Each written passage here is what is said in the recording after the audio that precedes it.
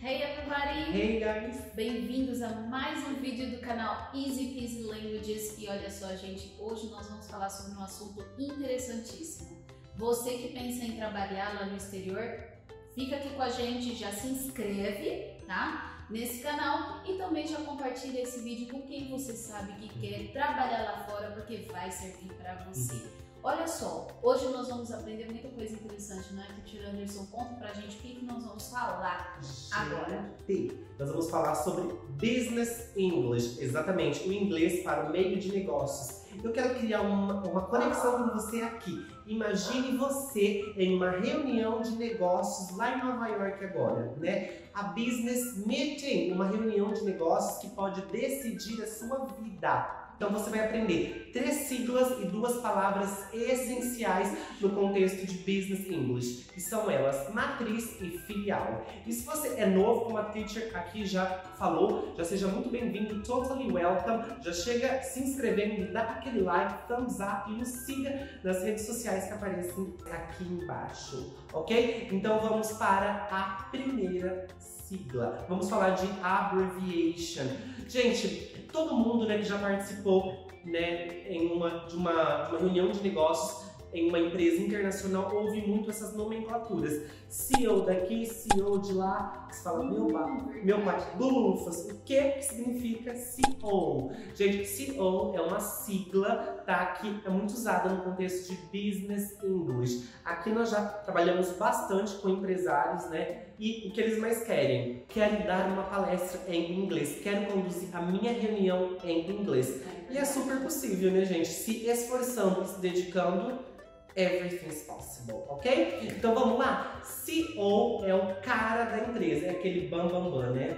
E aí qual é a tradução dessa sigla? O que ela significa? What's the meaning? CEO. Então tem três letras: C E O, ok? Então significa Chief Executive Officer. Então, é o diretor executivo da empresa e muitas vezes ele desempenha o papel do presidente. É né? Ele é o cara, é o que manda em tudo. Então, eu falo assim: olha, aquele ali é o CEO da empresa. Então, olha ali, look, that man is the CEO of the company. Ok? Então, fala, gente, ele é o que manda, ok? Então, CEO Chief Executive Officer, ok? É isso aí. Gente, uma outra pessoa muito importante dentro da empresa é aquela pessoa que cuida, ó, do din-din. It's not about money, money, money. Mas Exato. a empresa é, né, gente? Você precisa, de- sem esse departamento, Já era.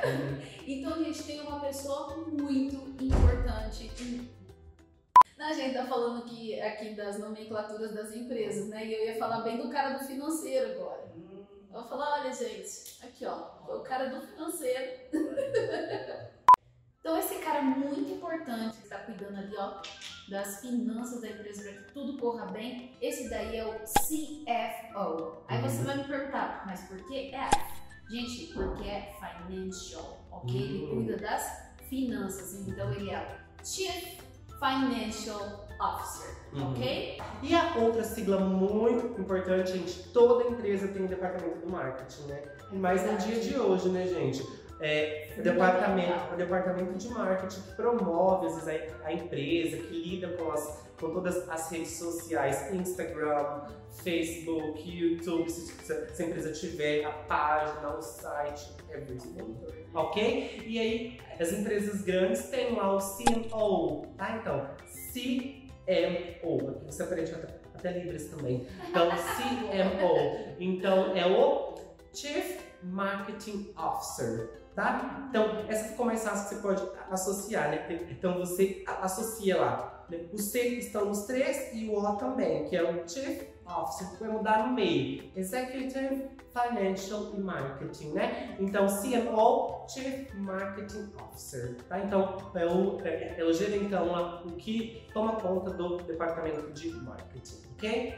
Agora nós vamos para aquelas duas palavrinhas que nós falamos para vocês, né? Além das siglas, nós temos duas palavras muito importantes no mundo de business, né? Então, olha só, Uma delas é headquarter. Eu não sei se você já ouviu essa palavra, mas olha só, quando a gente fala de headquarter, nós estamos falando sobre a matriz, Yeah. ok? Uhum. Então é aquele lugar que encabeça todas as outras, todas as filiais, né? Então é lá, hoje em dia tem a franqueadora, né? Tem as franquias e tal. Uhum. Então nós podemos chamar de headquarter, ou seja, a matriz. Sim. Então eu posso dizer, gente, eu trabalho para uma empresa lá da Alemanha, né? Uhum. Então eu vou dizer assim que a matriz está lá na Alemanha. Como que eu vou falar isso, gente? Olha só. My company's headquarter is in Germany. Uau. Tá? Então, ou seja, a minha empresa, ou seja, a matriz da minha empresa é lá na Alemanha, Uau. né? Então, para você só ter uma ideia, a definição de headquarter é the main office, né? É a parte principal da empresa, que remete à cabeça mesmo, né? Isso. Assim, o cérebro, né? Head, brain, tá? Então, the main office. E aí, as empresas internacionais, elas têm branches, são as filiais.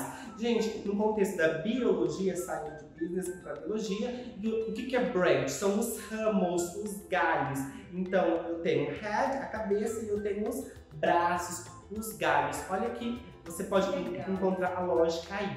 Então, a, a palavra no singular é branch. Então, se você tem uma filial só, branch. Mas se a sua empresa for international, né, no contexto multinacional, você acrescenta o ES. Então, branches, tá? Então, por exemplo, gente, a minha matriz, ela tem mais de 400 filiais no mundo. It has more than 400 branches worldwide.